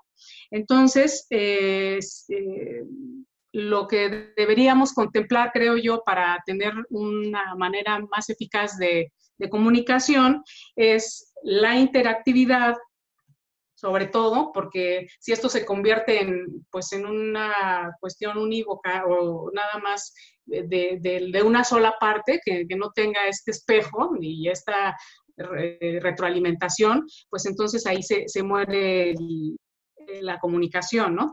También el conocimiento de las herramientas virtuales es muy importante ahora. Digo, esta es una parte más técnica, no es tan de, experiencias, ¿no? Como lo que estaban hablando las ponentes anteriores, pero sí hay que conocer las plataformas que se tienen ahora para poder este, pues incrementar este, esta experiencia que le, que le, estemos ofreciendo a quien nos vaya a ver o a escuchar o a leer nuestras, eh, nuestros, nuestros, eh, lo que le queremos decir, ¿no? Lo expuesto. También hay que considerar, pues, este, el tiempo eh, que van a tener las personas que nos pueden escuchar o ver, ¿no? Para no saturar de información y y pues considerar la disponibilidad de tiempo que hay, porque ahora es muy curioso que en todos lados los medios eh, nos dicen que ahora que hay mucho tiempo libre, que podemos ayudar en esta crisis no haciendo nada y pues yo no entiendo quién puede darse el lujo de no hacer nada, ¿no? En este momento estamos más ocupados que nunca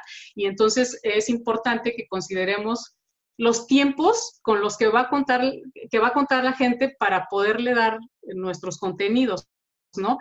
Que si bien ahí pueden estar congelados ya para siempre y que podemos tener eh, la manera de, consultarlos en el momento que nosotros queramos, pues está la saturación de información que yo creo que sí hay que ser, atender a ser más, eh, mm, o sea, hacer todo mucho, mucho menos extenso, ¿no?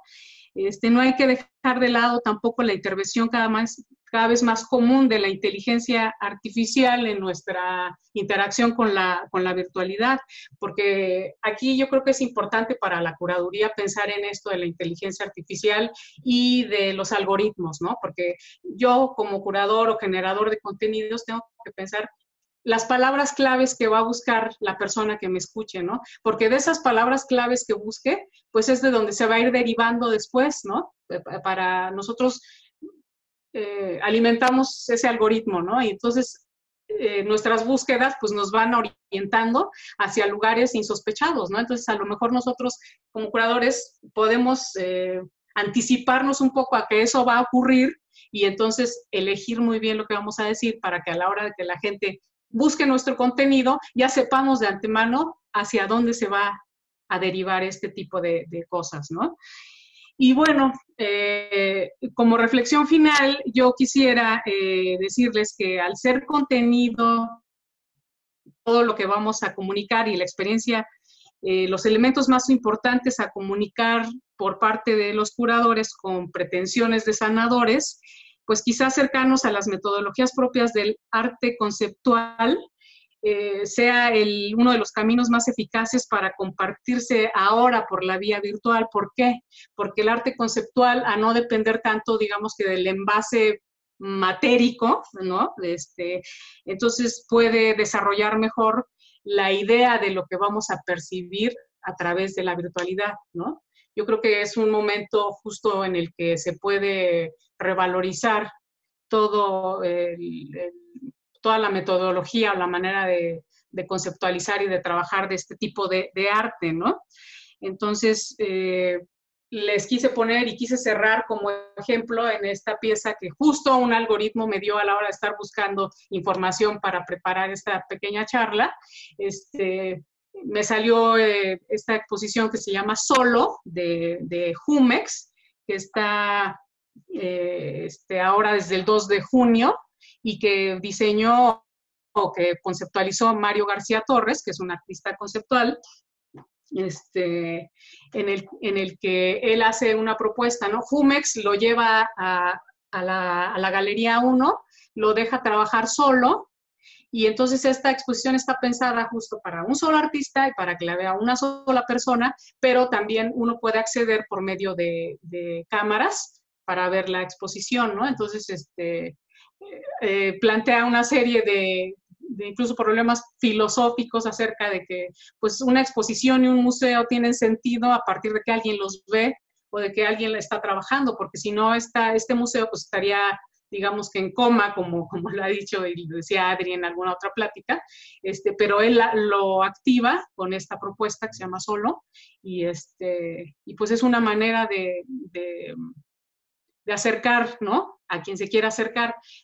Ahora bien, también hay otra, pues otro asunto a la hora de, querer ser sanador, curador, ¿no? Eh, pues el curador en, el encierro se enfrenta a los mismos problemas a los que se enfrenta la curaduría en la vida real, ¿no? Este, la, falta de foros, uno, en este caso, ya no va a darse, ¿no? Porque ahora, bueno, todo el mundo puede tener un pequeño, pues un pequeño compartimento desde el, desde el cual ofrecer sus contenidos, ¿no? Sin embargo, eh, aquí vuelvo a hacer hincapié en el que el contenido, la, la calidad del contenido es lo que va a darle eh, pues mayor, mayor difusión quizá, ¿no? En fin, eh, aquí el, asunto es, este, pues sí, tener este tipo de, propuestas para, para que la gente pueda acercarse, pero pues sí buscar, buscar qué es lo que quiere la gente, ¿no? También creo que es importante, siempre, siempre se ha hablado de que el público es lo más importante y justamente tiende a ser lo menos importante, ¿no? Porque estamos envueltos en tal problemática alrededor de lo que son los museos o alrededor de lo que son este incluso económicos a los que a los que se a los que nos hemos eh, enfrentado todos pues que ya el público ya no, no queda, o sea, no, no tiene un balance tan importante de lo que uno está diciendo hacia ellos, ¿no? Siempre estamos pensando en lo que nosotros decimos para las comunidades que están tratando los mismos temas que a todos nos, de que a nosotros nos gustan, pero no, no deja de estar en un círculo cerrado, ¿no? Entonces yo creo que también es el reto de, de la curaduría, eh, más allá de de pensarse como sanación, ¿no? Primero hay que resolver algunos problemas que no han sido resueltos dentro de la disciplina y después pensar en que nosotros podemos ser sanadores de alguien más. Y pues yo creo que aquí termino. Vaya, Sofi, muchas gracias. Muchas gracias por tu, por tu extraordinaria plática. Eh, me gusta mucho cómo lo presentaste.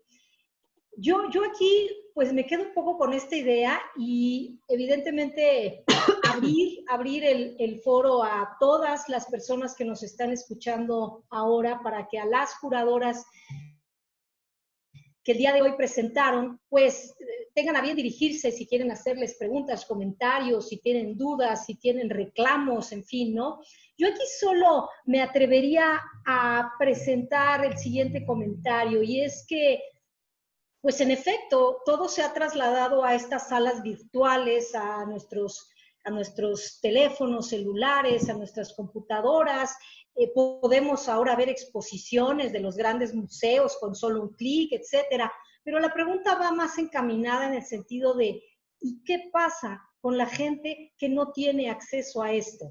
Eh, desde la curaduría, ¿estamos pensándoles ¿Cómo les alcanzamos? ¿Cómo llegamos? Porque hablando de esta práctica de sanación, este sería también, me parece, una vertiente que habría que contemplar desde la cultura y del arte, ¿no? E, este proceso de sanación donde la medicina no está al alcance de todas las personas de manera horizontal, de manera igualitaria. Entonces aquí me gustaría pues invitar a la reflexión en ese sentido, si tienen algún comentario sobre esto, alguna de las expositoras del día de hoy, o bien si el público quiere sumarse también, pues adelante, a través del chat nos pueden poner comentarios, o bien en la parte de, participas, en la parte de participantes pueden levantar su manito y por supuesto que abriremos el micrófono para que participen. No sé si alguna de ustedes quiere, quiere dar algún comentario sobre esta inquietud que les decía yo.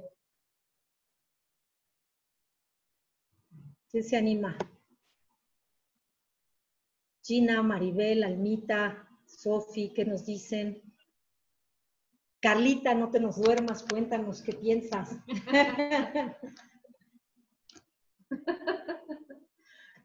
abre tu micro, Carlita, abre tu micro. Ya tenemos. Para que te oigan. Venga, Carlis. Pues me, me encantó escucharlas a todas. Este, cada una en su, como en su enfoque, pero creo que todas, a fin de cuentas, tienen un punto donde convergen, que es el de la corporeidad en varios sentidos, ¿no? Alma desde el punto de vista feminista, este, el cuerpo de la mujer, em, el cómo, cómo, cómo, se aborda esto, este, la sanación del, de, la sanación del cuerpo, este, de Gina. Em, pero, o sea, de diferentes maneras creo que todas convergen en este punto que se me hace muy interesante y que es precisamente lo que ahora está totalmente ausente, ¿no? En lo que estamos viviendo. La falta, la ausencia de lo matérico, la ausencia de lo presencial, la ausencia del contacto entre las personas, del contacto físico en poder visitar una exposición, del contacto que al ver una pieza te genera ciertas emociones, lo matérico, lo visual. Es una ruptura brutal en realidad, ¿no? En muchos sentidos. Y que creo que como curadores, a mí me recuerda mucho un libro de de un autor que se llama Yves Michaud, que habla del el arte gaseoso. Y creo que es a partir de ese concepto, a mí me rebota mucho, en donde podemos revisar tal vez cómo resolver este momento por el que estamos pasando, ¿no? Este, lo que decían de, de que tal vez también sea el momento en donde el arte contemporáneo podemos echar mucha mano de él precisamente porque no se basa en lo matérico, ¿no? Este estado poco que se va más así tal cual, ¿no? Hacia lo gaseoso, hacia lo efímero. ¿Cómo podemos partir de eso para acercar a las personas a manifestaciones contemporáneas que siempre las hemos realmente como curadores y como gente que hemos estado trabajando en el arte, alejado. O sea, hemos convertido el arte contemporáneo en algo a veces poco masticable. Y creo que es ahora la oportunidad, porque la esencia de lo que nos está pasando, de la falta de corporeidad, es precisamente cómo lo podemos repensar para hacerlo mucho más cercano a las personas, ¿no? Entonces, analizar ese concepto se me hace muy importante y creo que las curadoras que, que hablaron hoy tienen ese punto de, de, unión. Eso es todo. Gracias, Carlita. Pues tenemos también a, ¿quién sigue? Emil se levantó la mano. Emilce, por, por, favor, si abres tu micro, adelante. Hola, ¿qué tal? Eh, buenas noches.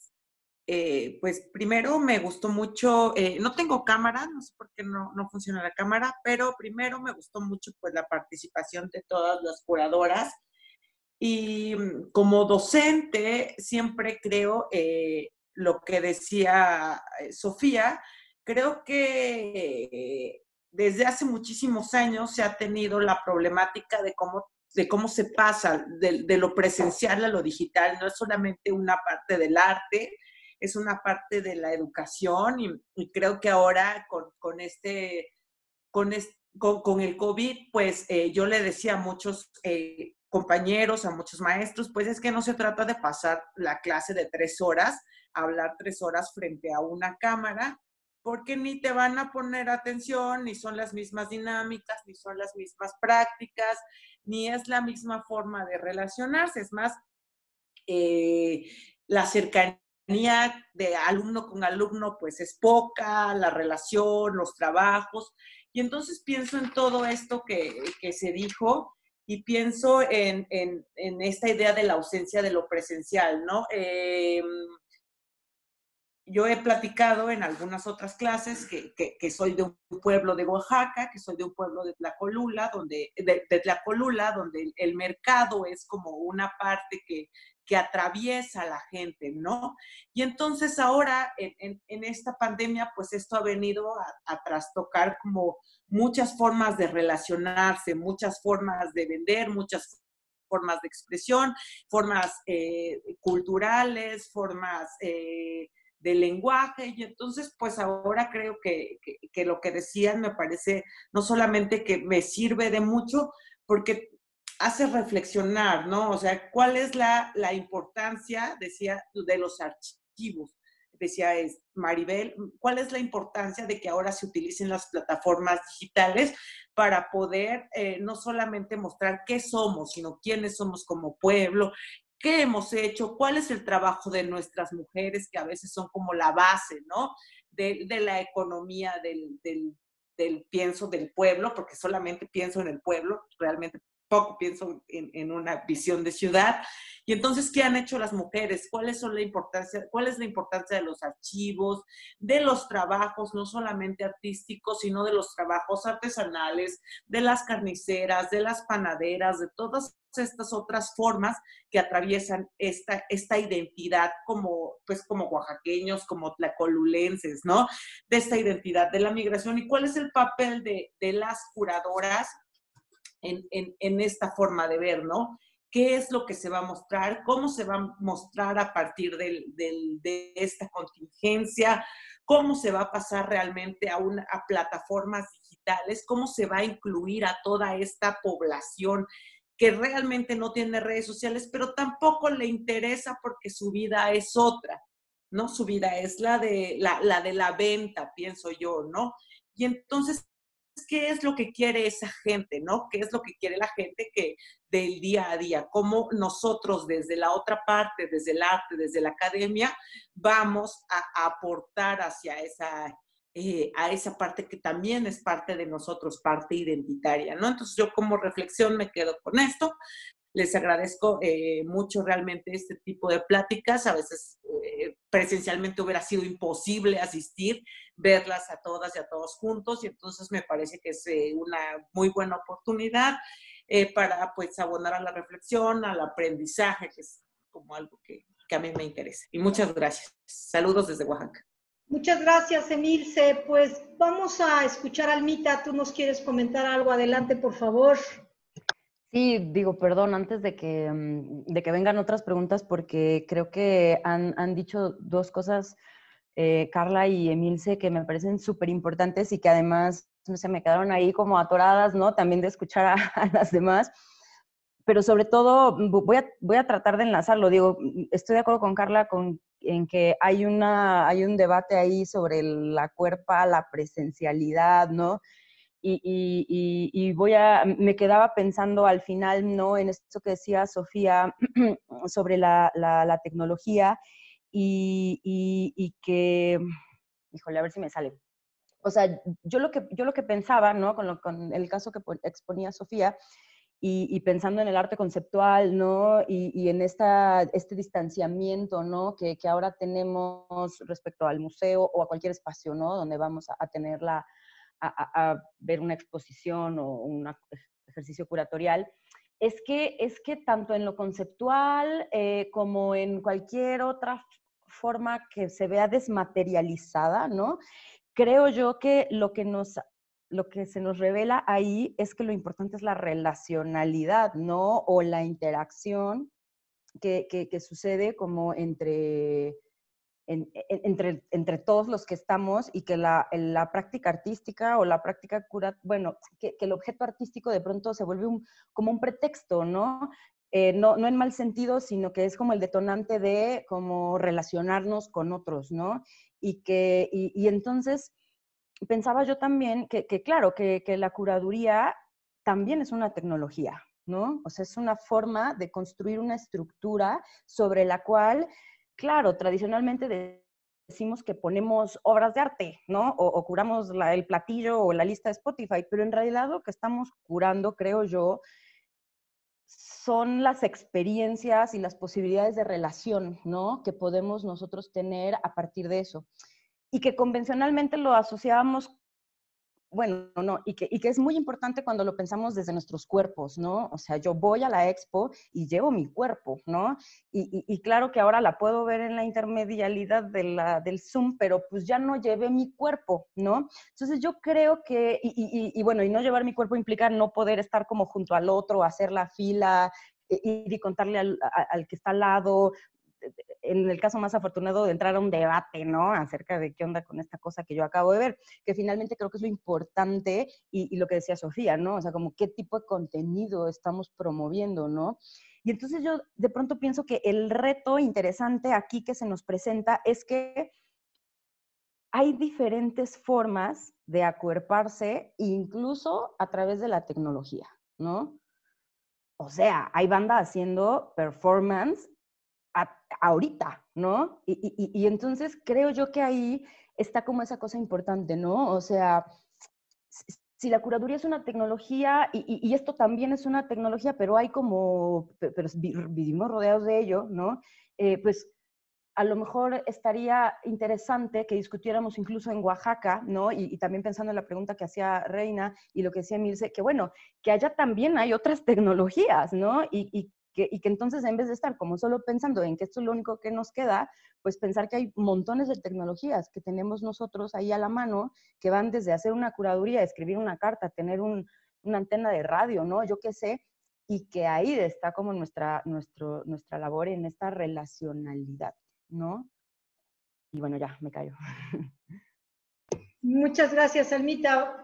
Adriana tiene un comentario. Justo yo quería abonar un poco, arrastrando de todo lo aquí expuesto, esta noción sí de la corporeidad y habla la escéptica más escéptica de estas tecnologías y de los procesos Zoom y demás, que sin embargo se encuentra completamente absorta dentro de ellos y que el miércoles acabo de tener una plática con otros colegas curadores y muy curiosamente, eh, eso, lo que me quedó como reflexión era la cuestión de que a mí ya la práctica artista, artística como inserta dentro de todo este sistema así concebido, cada vez me da más flojera, ¿no? En tanto acartonada, en tanto sujeta a una serie de preceptos, inserta en una lógica capitalista de mercado. Eh, me interesa lo que detona como conversación. Y en ese sentido, a pesar de todo el escepticismo que tengo para estas plataformas y dinámicas, me encuentro participando de conversaciones súper ricas, súper nutridas, y en lugar de estar haciendo curadurías, digamos, ahora estamos como develando la práctica curatorial y diciendo, ¿qué carambas es esto que, pues, ya dábamos por hecho y por sentado y teníamos más que asumido y nos colocábamos el título y la etiqueta de somos curadoras y íbamos por el mundo, pero que a la luz de esta realidad es como, exacto, en todo momento, como apuntaba Gina, estamos tomando decisiones sobre qué dejamos entrar a nuestras vidas, a qué le damos valor, importancia. Y eso, qué relacionalidad, justamente como decía Salma, que se me hace crucial y el tejer redes también, ¿no? Y el cómo nos vamos construyendo como sociedad en una realidad en donde claramente el tejido social está más que quebrantado y estamos viviendo, pues eso, de ahí que la pregunta partiera de, hay unas heridas abiertas que sangran y echan pus y esa cuestión pandémica, caja de Pandora, que está más que evidente pues el, generar estas dinámicas que sí estamos, como decía también Sofi, en, en, enclaustrados y en nuestros cuadritos, pero también propician una democratización y aquí todos tenemos un pedacito y podemos tener espacio de voz y de, de, de, echar a andar ideas y de generar diálogos que a lo mejor de pronto también por los ritmos de la vida otra, pues no se nos permitía, ¿no? Y ahorita en efecto estamos también como locos y eso no, no, este, no ha pasado, pero, pero que estamos también teniendo más tiempo para reflexionar y para cuestionarnos a nosotras mismas en todos los sentidos, de quién soy, a dónde voy, estas preguntas esenciales de la vida,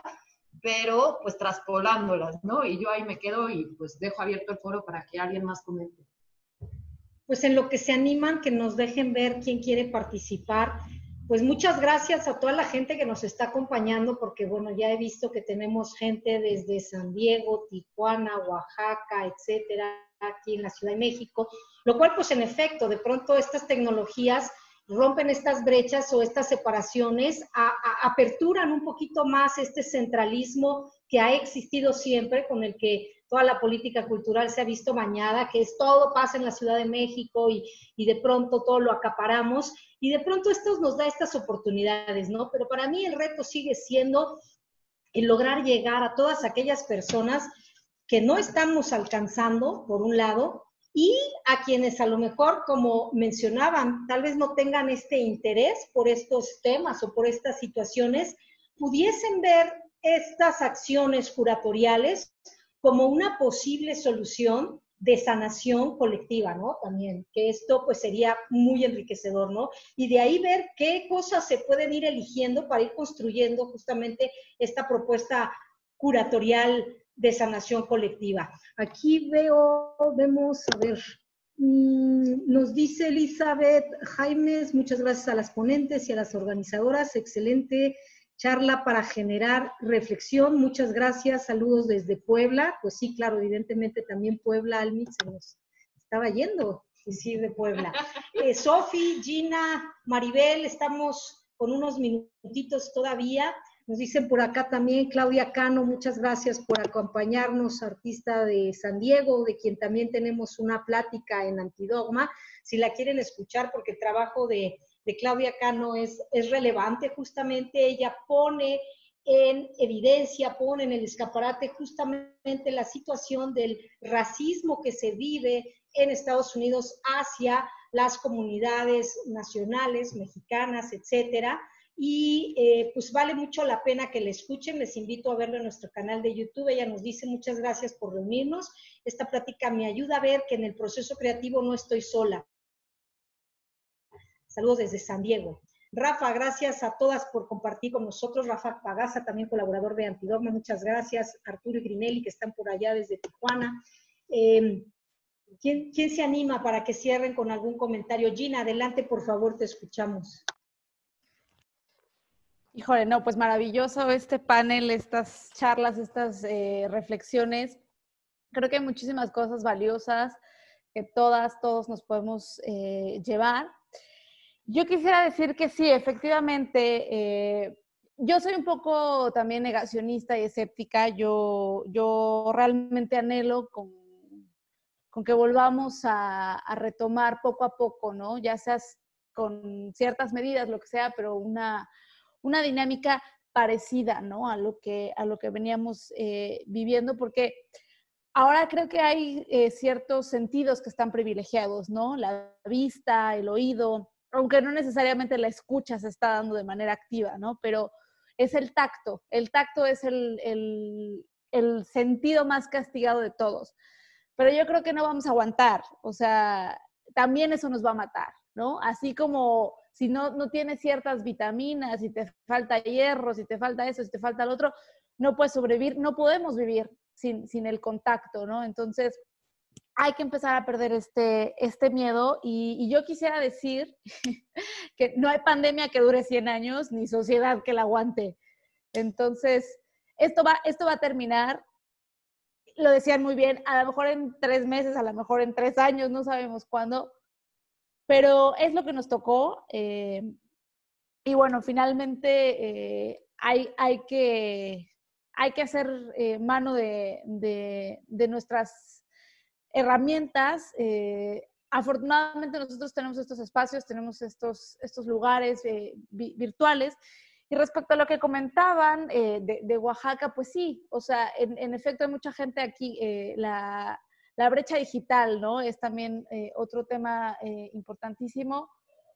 Pero creo que hay también una forma de traer a la comunidad y es en el, en el pensamiento, es decir, sabemos que no estamos aislados, sabemos que, todo lo, que tenemos a la mano, los productos que consumimos, vienen de otros lugares, ¿no? Vienen del campo, eh, hay gente que está eh, ahí y, de alguna manera también las tenemos cerca, ¿no? Con, todas estas cosas que se nos van eh, acercando, ¿no? Este, yo quisiera pensar que, el mercado de la colula va a, reactivarse quizás soy un poco soñadora, pero, pero vaya, eh, eh, yo lo que he visto aquí en Oaxaca es que hay, mucha solidaridad, hay, hay, mucha gente dispuesta a ayudar y el sentido de comunidad es algo bien importante aquí, ¿no? Y, y yo creo que eso es algo que tenemos que,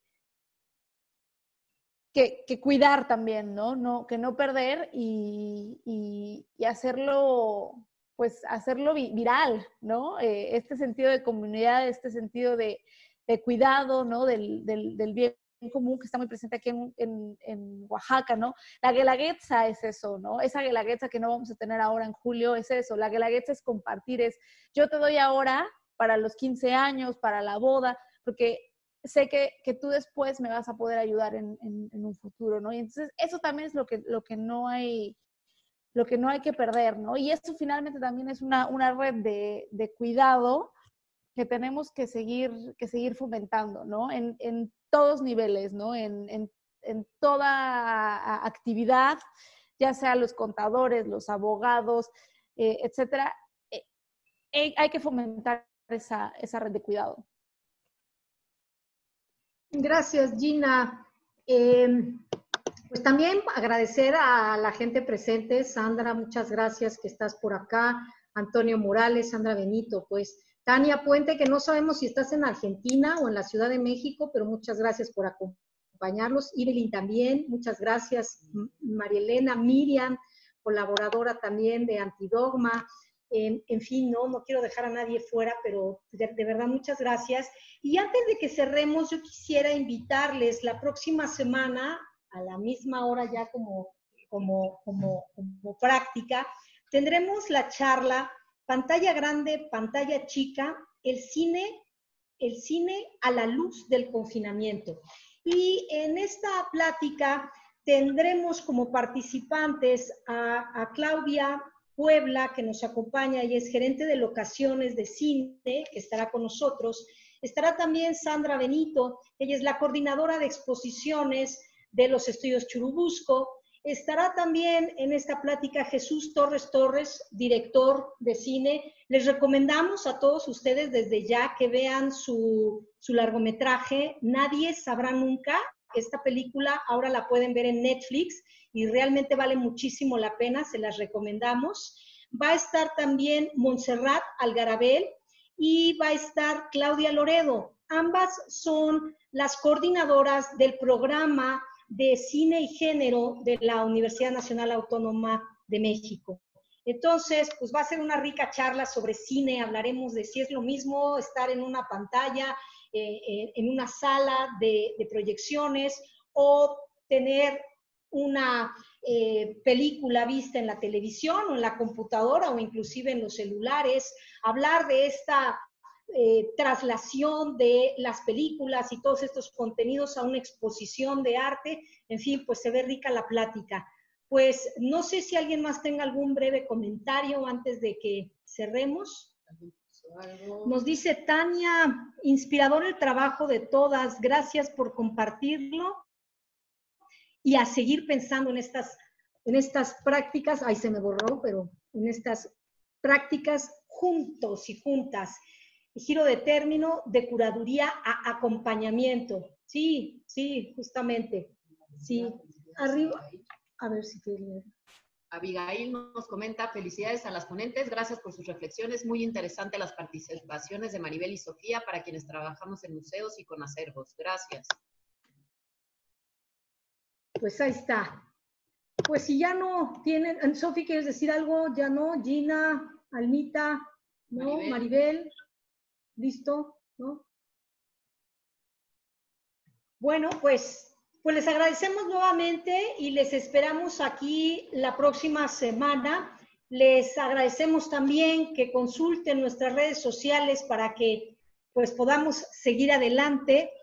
Nos dice Gina sobre la artista de la que hablé, enfocada en el arte precario, Cecilia Vicuña y la pareja de artista que trabajan la apropiación de tierras, los Harrison. Ok, ok. Y María de los Ángeles González, muchas gracias. Nos veremos la próxima semana. Saludo afectuoso para todos y todas. Pues eso, muchísimas gracias. Buenas noches, descansen. Y a Ponchito que nos apoya Ponchito, en Alfonso de Soto, control. claro, muchísimas gracias. Gracias a la Universidad de la Comunicación que nos abre este espacio y nos permite hacer porosos los muros de la universidad y salir por aquí para alcanzar otras audiencias.